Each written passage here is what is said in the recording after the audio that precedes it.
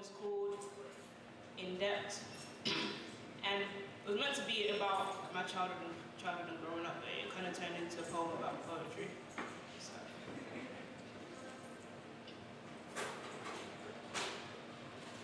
I started writing lyrics at around the age of 10.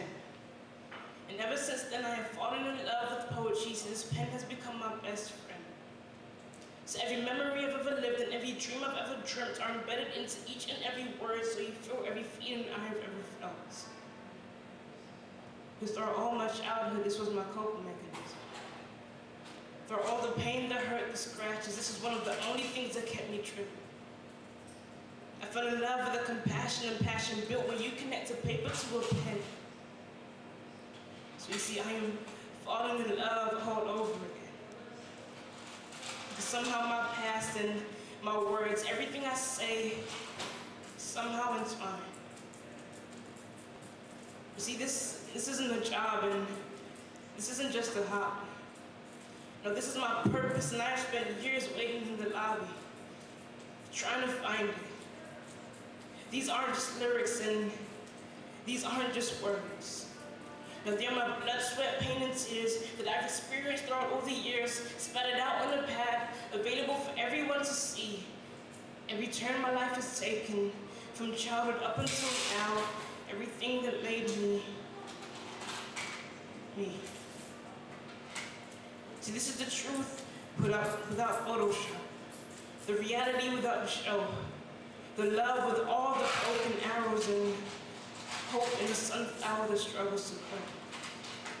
See, these words come from the times we spent chasing the ice cream truck, begging mom for money for sherbets. They come from the pride I experienced every time I won a race in St. Luke's playground. See, these words come from the edge we felt, sneaking into abandoned lots, and from the fear we felt when we thought we would be caught. You see, these words are much more than rhymes, for each line represents a period in time where I was either at my worst or I was at my best. These words pushed me beyond my limits and put my faith to the test. See, these words are a reflection of my growth and maturity from all the things that made me grow up before my time. These words come from leaving my friends behind in London and moving to the state of New Jersey. They come from a broken family, but somehow I turned out all right. These words come from the blow experience in sixth form when they told me I wouldn't make it into a good university. And they come from the joy that wept from my eyes exactly a month ago when you cast on me a different story. These words depict every heartache I felt when he told me he cared but never cared to show. it. And they depict every time I triumphed the defeat I felt but never felt that I could show.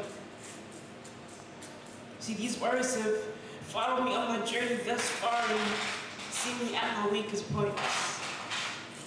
You see, all my deepest, darkest secrets are entwined in these words. For everything that ever hurt and everything that made me smile, I spurred out into this path until I gained the courage to share my feelings with a crowd, pushed out of my comfort zone that seemed so comfortable as a kid. See, the comfort zone limited my dream. Because these words were my dream, and these words also taught me to dream. For as a couple of years ago, the only audience I had were the four walls of my room. But I prayed, Lord, grant me the opportunity to perform in front of a crowd and let me tell you a little secret, I'm living out part of my dream right now. But you see, these words also taught me the downside of it all. For you see, dreams are feeble when left to dwindle.